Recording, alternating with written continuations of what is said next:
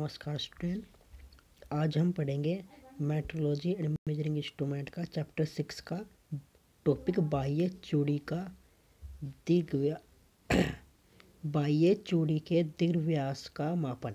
ठीक है? कल हमने पढ़ा था वन ईयर डेप्थ गेज आज इसके बाद हम पढ़ेंगे बाह्य चूड़ी के दीर्घ व्यास का मापन। तो बाह्य चूड़ी का दीर्घ व्यास नापने के लिए वन ईयर कैलिपर का प्रयोग किया जाता है। दीर्घ व्यास को का सूक्ष्म मापने सूक्ष्म मापने, माप करने के लिए कोई भी रेखीय मापन यंत्र जैसे बाह्य तुलनित्र माइक्रोमीटर संयोजन तथा टूल मेकर माइक्रोस्कोप का भी प्रयोग किया जा सकता है। ठीक है तो बाह्य चूड़ी का व्यास मापने के लिए हम क्या करते हैं? वर्नियर कैलिपर का प्रयोग करते हैं। ठीक है? मतलब आउटर थ्रेड। ठीक है? एक्सटर्नल थ्रेड किसी बाह्य चूड़ी के। ठीक है? एक्सटर्नल थ्रेड के मतलब किसी बाह्य चूड़ी के अगर हमें व्यास नापना है, ठीक है? दीर्घ व्यास नापना है। तो इसके लिए हम एक तो वन एड कैलिपर यूज़ कर सकते हैं। तो ठीक है? दूसरा हम एक्सटर्नल कॉम्परेटर तुलनित्र माइक्रोमीटर या टूल मेकर माइक्रोस्कोप का भी प्रयोग कर सकते हैं, ठीक है? इस मापन यंत्र प्रक्रिया में यह ध्यान रखें कि मापन यंत्र का एक एनविल या दोनों एनविल चूड़ी के शीर्ष पर स्पर्श करते रहे। मतलब ये देखो, इसमें डायग्राम में है ना इसका जो एनविल है, वो जो ये एनविल है, ये दोनों, ये चूड़ी के शीर्ष को स्पर्श करते रहे, ठीक है? किसी असुविधा होने पर एनविल के नीचे स्लिप गेज लगा दी जाती है, जिससे एनविल के संपर्क के अक्स लंबवत होना चाहिए। तो इसमें कभी कोई प्रॉब्लम हो तो एनविल के नीचे हम स्लिप गेज भी लगा देते हैं, ठीक है? अब है गियर गियर क्या होता है? गियर सामान्यतः शक्ति तथा गति से, गति ऑपरेशन करने के लिए प्रयोग किए जाते हैं। मतलब हमें पावर ट्रांसमिट करनी है, शक्ति ट्रांसमिट करनी है, एक साफ्ट से दूसरी साफ्ट में, या एक जगह से दूसरी जगह। तो क्या यूज़ करते हैं हम? गियर का यूज़ करते हैं। एक साफ्ट की गति दूसरी साफ्ट पर गियरों के माध्यम से पारसित होती है। मतलब गति का ट्रांसफ़र एक साफ्ट से दूसरी साफ्ट पर किससे माध्यम से होता है? गियर के माध्यम से ही होता है। गियर दो प्रकार के होते हैं स्पर गियर हेलिक हेलिकल गियर ठीक है? अब हम पढ़ेंगे श्यांता श्यांता विस्कोस्टी। श्यांता किसी बहते हुए द्रव का गुण है। द्रव को विभिन्न परतों का बना हुआ माना जाता है। तो श्यांता क्या है? किसी बहते हुए द्रव का क्या है? एक प्रॉपर्टी है, गुण है। और द्रव हम क्या मानते हैं कि वो अलग बहुत बहुत सारी परतों का बना हुआ है। किसी बहते हुए द्रव की विभिन्न परतों के मध्य घर्षण बल कार्य करता है।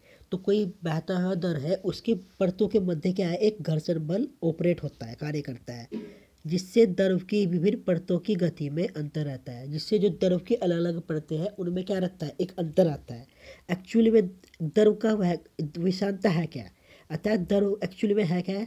द्रव, अतः द्रव का वह गुण, जिसके कारण द्रव की विभिन्न परतें एक दूसरे पर अतिरिक्त घर्षण बल लगाकर रोकने का प्रयास करती है श्यांता कहलाता है।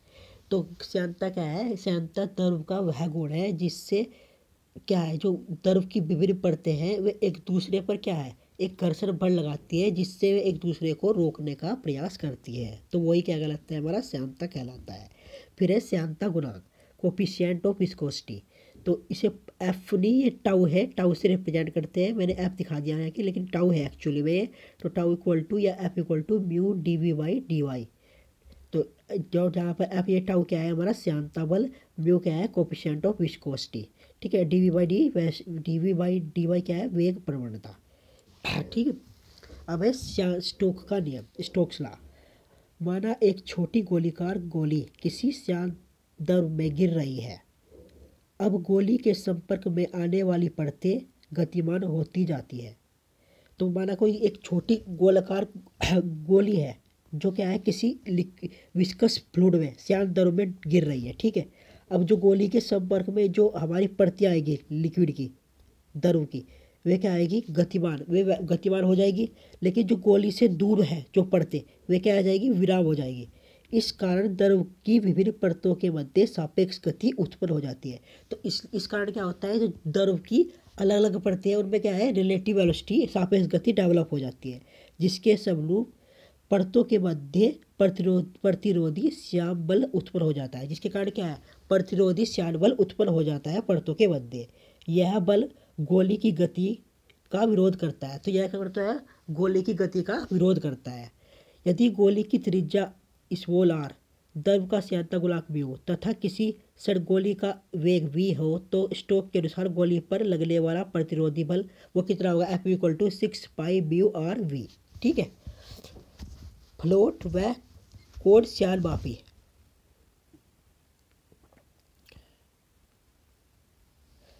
फ्लोट व कोड श्यान क्या है? यदि रोटामीटर के फ्लोट को इस प्रकार डिज़ाइन किया जाए कि वह श्यानता के लिए सुग्रही हो जाए तो रोटामीटर से द्रव की श्यानता ज्ञात की जा सकती है। तो इससे रोटामीटर से क्या करते हैं हम? द्रव की श्यानता ज्ञात कर सकते हैं फ्लोट के माध्यम से। इसलिए फ्लोट को नीचे वाले भाग का क्षेत्रफल अधिक रखा जाता है तथा ऊपरी किनारे पर खांचे बना दिए जाते हैं। तो नीचे वाले भाग पर फ्लोट का क्या क्षेत्रफल हम ज़्यादा रखते हैं? और ऊपर वाले किनारे पर हम क्या है? खांचे बना जाते, बना दिए जाते हैं। प्लॉट के किनारों की गोली, गोलाई प्रदान कर देने पर वह श्यानता के प्रति संवेदनशील हो जाते हैं। तो जो फ्लोट के किनारे हैं, उन पर क्या है? गोलाई प्रदान कर देते हैं, जिससे वे क्या है? वह श्यानता के प्रति वे क्या हो जाती है? सेंसेबल हो जाती है संवेदनशील हो जाते हैं। अब यदि रोटामीटर से दर्व की नियत रखी अब यदि रोटामीटर के प्रति, अब यदि रोटामीटर से दर्व की दर्व का प्रवाह दूर रखा रख, नियत रखी जाए तो कोण के भीतर फ्लोट की स्थिति द्रव की श्यानता दर्शाती है। ठीक है?